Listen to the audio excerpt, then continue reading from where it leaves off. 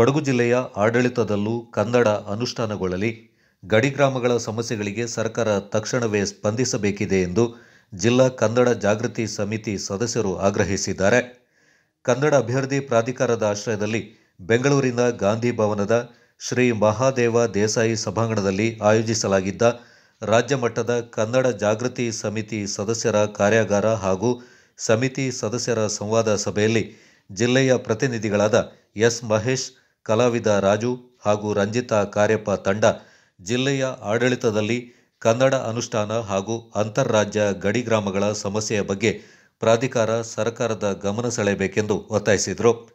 ಕರ್ನಾಟಕ, ಕೇರಳ ರಾಜ್ಯ, ಗಡಿ ಜಿಲ್ಲೆ, ಕೊಡಗು, ಇಲ್ಲಿನ ಗಡಿ ಗ್ರಾಮಗಳಾದ ಕುಟ್ಟ, ಮಾಕುಟ್ಟ ಹಾಗೂ ಕರಿಕೆ ಗ್ರಾಮಗಳು ಕೇರಳ ರಾಜ್ಯದ ಪ್ರಭಾವಕ್ಕೆ ಒಳಗಾಗಿವೆ. ಇಲ್ಲಿನ ಜನತೆ ಕೆಲವೊಂದು ವಿಚಾರಗಳಿಗೆ ಕೇರಳ ರಾಜ್ಯವೊಂದೇ ಅವಲಂಬಿಸಬೇಕಾಗಿರುವುದು ವಿಪರ್ಯಾಸ.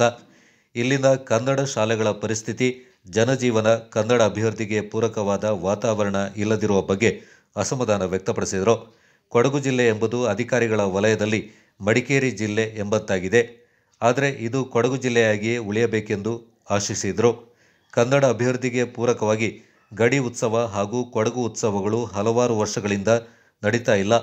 ಈ ಬಗ್ಗೆ ಕನ್ನಡ ಅಭಿವೃದ್ಧಿ ಪ್ರಾಧಿಕಾರದ ಸರ್ಕಾರದ ಗಮನ ಸೆಳೆದು ಜಿಲ್ಲೆಯಲ್ಲೂ ಕನ್ನಡ ಅಭಿವೃದ್ಧಿಗೆ ಪೂರಕವಾದ ವಾತಾವರಣ ನಿರ್ಮಾಣ ಮಾಡಬೇಕಾಗಿದೆ ಎಂದು ತಿಳಿಸಿದರು. ಎಲ್ಲ ಪ್ರಮುಖರು ಇರೋದ್ರಿಂದ ಒಂದು ಮೂರ್ನಾಲ್ಕು ಸಂಗತಿಗಳನ್ನ ನಾನು ಹಂಚಿಕೊಳ್ತೀನಿ. ನೀವು ಚಾತುರ್ ವರ್ಣಗಳನ್ನ ನಾಲ್ಕು ವರ್ಣಗಳನ್ನ ಒಪ್ತಿರೋ ಬಿಡ್ತಿರೋ ಬೇರೆ ಪ್ರಶ್ನೆ. ಆದ್ರೆ ಎಲ್ಲ ಕಡೆಯಲ್ಲೂ ನಾಲ್ಕು ವರ್ಣ ಇದ್ದಿದೆ. ಕನ್ನಡವನ್ನ ಕಟ್ಟೋದು ನಾಲ್ಕು ವರ್ಣ ಇದೆಯೋ ಇಲ್ಲೋ ಯೋಚನೆ ಮಾಡಿ, ನಾವು ನಾಲ್ಕು ದಿಕ್ಕಲ್ಲಿ ಯೋಚನೆ ಮಾಡ್ಲಿಕ್ಕೆ ಆಗುತ್ತೋ ಇಲ್ವೋ? ಮೊದಲನೇದು ಬೌದ್ಧಿಕವಾಗಿರುವಂತ ಒಂದು ದೊಡ್ಡ ಕೆಲಸ ಕನ್ನಡದ ವಿಚಾರದಲ್ಲಿ ಆಗ್ಲೇಬೇಕು. ಆಗ್ತಾ ಇದೆಯಾ ಅಂತ ಕೇಳಿದ್ರೆ ನಿಜವಾಗ್ಲೂ ಕಡಿಮೆ ಆಗೋಗಿದೆ. ನಮ್ಮ ಕಾಲೇಜಿನ ಮಕ್ಕಳಿಗೆ ಒಂದು ಕನ್ನಡದ ಪ್ರಬಂಧ ಬರೀಲಿಕ್ಕೆ ಸಾಧ್ಯವಾ ಅಂತ ಕೇಳಿ ನೋಡಿ, ಗಾಬರಿ ಆಗುತ್ತೆ ಅವ್ರಿಗೆ. ಕನ್ನಡದ ಪ್ರಬಂಧವ?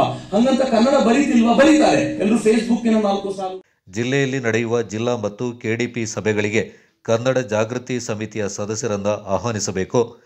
ಆಗ ಕನ್ನಡ ಅಭಿವೃದ್ಧಿಗೆ ಸಂಬಂಧಪಟ್ಟ ಸ್ಥಳೀಯ ಸಮಸ್ಯೆಗಳು ಬೆಳಕಿಗೆ ಬರುತ್ತದೆ ಎಂದು ತಿಳಿಸಿದರು. ಇದಕ್ಕೆ ಪ್ರತಿಕ್ರಿಯಿಸಿದ ಪ್ರಾಧಿಕಾರದ ಅಧ್ಯಕ್ಷ ಟಿಎಸ್ ನಾಗಾಭರಣ ಹಾಗೂ ಕಾರ್ಯದರ್ಶಿ ಡಾಕ್ಟರ್ ಸಂತೋಷ್ ಹಾನಗಲ್ಲ ಜಿಲ್ಲೆಯಲ್ಲಿ ಕನ್ನಡ ಅಭಿವೃದ್ಧಿಗೆ ಸಂಬಂಧಪಟ್ಟ ಸಮಸ್ಯೆಗಳ ಬಗ್ಗೆ ಕ್ರೋಢೀಕರಿಸಿ ಲಿಖಿತವಾಗಿ ಸರ್ಕಾರಕ್ಕೆ ವರದಿ ಸಲ್ಲಿಸಲಾಗುವುದೆಂದು ತಿಳಿಸಿದರು.